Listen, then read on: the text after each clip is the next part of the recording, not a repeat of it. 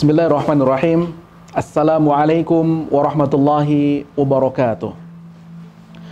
Hamdan wa syukran lillah, salatan wa salaman ala rasulillah, amma ba'd.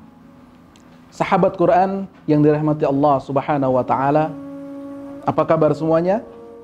Mudah-mudahan kita semua dalam keadaan sehat walafiat dan tetap semangat dalam menjalankan ibadah puasa ini. Insya Allah pada kesempatan ini Ustadz akan menyampaikan 30 kisah dalam Al-Quran dan kisah yang akan Ustadz sampaikan kali ini adalah kisah terkait Nabi Daud alaihi salam. Sahabat Quran yang dirahmati Allah subhanahu wa ta'ala. Kisah ini terdapat dalam Al-Quran surat Al-Baqarah ayat 200 46 sampai 251. Allah berfirman, A'udzu billahi minasyaitonir rajim. Bismillahirrahmanirrahim. Alam tara ilal mala'i min bani Israil min ba'di Musa idh qalu linabiyyin lahum ib'ath lana malikan nuqatil fi sabilillah. Qala hal 'asaytum in kutiba 'alaykumul qitalu alla tuqatilu قالوا وما لنا ألا نقاتل في سبيل الله وقد أخرجنا من ديارنا وأبنائنا فلما كتب عليهم القتال تولوا إلا قليلا منهم والله عليم بالظالمين yang artinya apakah kamu tidak memperhatikan pemuka-pemuka Bani Israel sesudah Nabi Musa yaitu ketika mereka berkata kepada seorang nabi mereka angkatlah untuk kami seorang raja supaya kami berperang di bawah pimpinannya di jalan Allah. Nabi mereka menjawab, mungkin sekali jika kamu nanti diwajibkan berperang, kamu tidak akan berperang. Mereka menjawab, mengapa kami tidak mau berperang di jalan Allah? Padahal sesungguhnya kami telah diusir dari anak-anak kami. Maka tatkala perang itu diwajibkan atas mereka, mereka pun berpaling kecuali beberapa saja di antara mereka dan Allah Maha mengetahui siapa orang-orang yang zalim. Sahabat Quran yang dirahmati Allah Subhanahu wa taala. Kisah ini adalah kisah dihususkan untuk Bani Israel di mana kita tahu bahwa nabi yang terkenal di kalangan Bani Israel adalah Nabi Musa. Namun setelah Nabi Musa alaihissalam wafat, maka Bani Israel ini dia meminta seorang raja, seorang pemimpin kepada nabinya. Dan nabi ini adalah nabi setelah Nabi Musa. Dalam tafsir mengatakan itu adalah Nabi Samuel. Nah, kaum Bani Israel ini meminta seorang raja yang raja ini akan memimpin mereka untuk berperang di jalan Allah. Kemudian Nabi ini mengangkat seorang raja namanya Raja Talut. Nah, Talut ini diangkat bukan dari kalangan bangsawan maupun dari kalangan orang kaya, tapi orang biasa. Sehingga pemuka-pemuka dari Bani Israel ini dia e, mereka protes.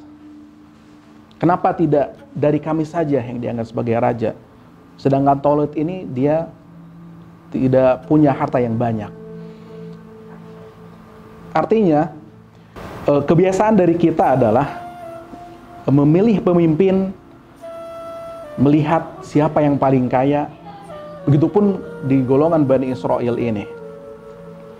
Mereka berharap pemimpin atau seorang raja yang diangkat adalah dari golongan orang-orang kaya. Tapi Nabi Allah ini minta kepada Allah dan akhirnya diangkatlah Raja Talut. Nah, Talut ini dia tidak punya banyak harta, tapi dia memiliki kelebihan dari ilmu dan fisiknya. Beliau sangat cerdas dan juga fisiknya kuat. Itulah yang membuat Tolut diangkat menjadi seorang raja. Nah, ketika Tolut e, mengajak tentaranya untuk berperang di jalan Allah. Maka Tolut mengabarkan kalian akan nanti akan melewati sebuah sungai dan kalian akan diuji oleh Allah dengan sungai tersebut. Barang siapa yang meminum air sungai itu maka dia tidak termasuk dari golonganku, kata Raja Tolut. Adapun yang tidak meminum itu ada bagian dari uh, golonganku. Kemudian hanya sedikit dari mereka yang tidak minum dan termasuk dari golongan Raja Tolut ini. Sahabat Quran yang dirahmati Allah Subhanahu wa taala. Di ayat selanjutnya Nabi mereka mengatakan kepada mereka sesungguhnya Allah telah mengangkat Tolut menjadi rajamu. Mereka menjawab, bagaimana Tolut memerintah kami? Padahal kami lebih berhak mengendalikan pemerintahan daripadanya. Sedang dia pun tidak diberi kekayaan yang cukup banyak. Nabi mereka berkata, sesungguhnya Allah telah memilih rajamu dan menganugerahinya ilmu yang luas dan tubuh yang perkasa. Allah memberikan pemerintahan kepada siapa yang dikehendakinya dan Allah maha luas pemberiannya lagi maha mengetahui. Nah di sini Bani Israel membutuhkan seorang pemimpin, seorang raja yang bisa memimpin mereka untuk memerangi e, tentara Raja Jalut yang, yang sudah berbuat zolim kepada mereka. Jalut sudah merampas negeri mereka sehingga kaum Bani Israel ini terusir dari negerinya dan bahkan anak-anak mereka ditawan oleh Raja Jalut. Nah, mereka ingin mengambil kembali hak hak mereka dengan cara memerangi Raja Jalut ini. Nah, namun ketika Allah memutuskan untuk mengangkat seorang raja, yaitu Raja Talut, mereka ternyata protes. Kenapa Allah tidak mengangkat seorang raja dari kalangan orang-orang yang kaya di antara mereka. Tapi Allah mengangkat seorang raja yang tidak punya harta. Nah, seperti Raja Raja Tolut ini, dia termasuk dari golongan yang biasa saja, namun beliau memiliki kelebihan di bidang ilmu dan juga fisiknya yang perkasa. Jadi kecerdasan dan fisik inilah menjadi uh, faktor utama dipilihnya Raja Tolut sebagai raja yang nanti akan memimpin perang melawan Raja Jalut. Maka tatkala Tolut keluar membawa tentaranya, ia berkata, sesungguhnya Allah akan menguji kamu dengan suatu sungai. Maka siapa di antara kamu minum airnya, bukanlah ia pengikutku. Dan barang siapa tidak meminumnya, kecuali seciduk tangan, maka dia adalah pengikutku. Kemudian mereka meminumnya kecuali beberapa orang di antara mereka. Maka tatkala Taulut dan orang-orang beriman bersama dia telah menyeberangi sungai itu, orang-orang yang telah minum berkata, tak ada kesanggupan kami pada hari ini untuk melawan Jalut dan tentaranya. Kemudian tatkala Jalut dan tentaranya telah nampak oleh mereka, mereka pun Talut dan tentaranya berdoa, "Ya Tuhan kami, Tuangkanlah kesabaran atas diri kami dan kokohkanlah pendirian kami dan tolonglah kami terhadap orang-orang yang kafir. Ini adalah doa Raja Tolut ketika menghadapi tentara Jalut yang jumlahnya lebih sedikit daripada tentara Jalut. Apa doanya uh, Raja Tolut ini? Rabbana afrig alaina sabran. Ya Tuhan kami tuangkanlah kesabaran atas diri kami. Wa thabbit aqdamana wangsurna alal qomil kafirin. Dan kokohkanlah pendirian kami dan tolonglah kami terhadap orang-orang yang kafir. Nah di antara pasukannya Tolut ini, di situ ada Nabi Daud ketika itu. Nah Nabi Daud melihat ada kesempatan untuk menyerang Raja Jalut.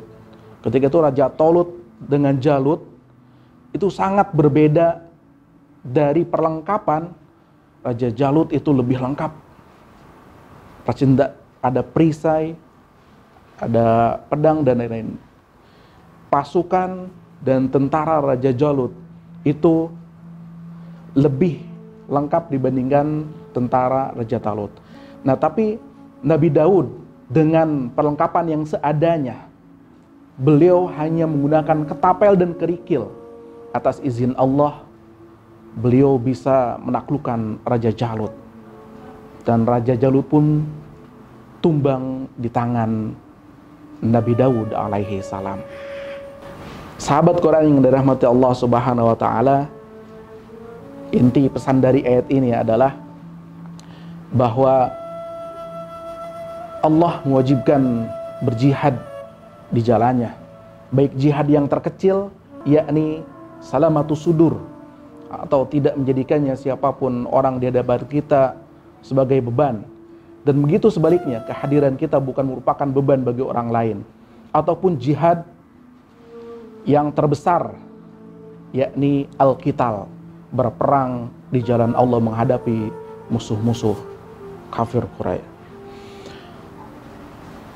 Juga Allah memberi gambaran bahwa Bani Israel yang sebelumnya meminta untuk sebuah kewajiban berjihad.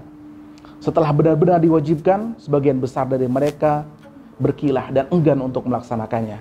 Kecuali hanya sedikit di antara mereka yang mau berjuang di jalan Allah. Dan akibat langsung bila terlalu banyak larut dalam kenyamanan dan fasilitas akan muncul kemalasan dan perasaan takut untuk menghadapi perjuangan. Hal ini terungkap dalam frasa la taqata lana al-yawm bijaluta wa yang artinya tak ada kesanggupan kami pada hari ini untuk melawan Jalut dan tentaranya. Sahabat Quran yang dirahmati Allah Subhanahu wa taala, kalimat dalam firman Allah kam min fi'atin qalilatin ghalabat fi'atan katsiratan biiznillah yang artinya berapa banyak kelompok yang sedikit dapat mengalahkan kelompok yang banyak dengan izin Allah. Juga mempunyai maksud sosial yakni sebagai sebuah upaya peneguhan identitas. Maksud dari upaya pengembangan identitas adalah bahwa sebuah komunitas atau kelompok sosial dalam masyarakat baik berupa sebuah organisasi masyarakat ataupun organisasi dakwah keagamaan untuk dapat mewujudkan tujuan-tujuannya harus didukung oleh peran dan status kelembagaan tersebut. Sahabat Quran yang dirahmati Allah Subhanahu wa taala, untuk kisah yang ke-20 saksikan kembali program SHK berkisah di episode berikutnya. Jazakumullah khairan kathiran atas perhatiannya. Sekolah Hafiz Quran bertauhid, berbakti, cerdas, berakhlak. Allahu Akbar. Hadanallahu wa yakum ajma'in. Astaghfirukum. Wassalamualaikum warahmatullahi wabarakatuh.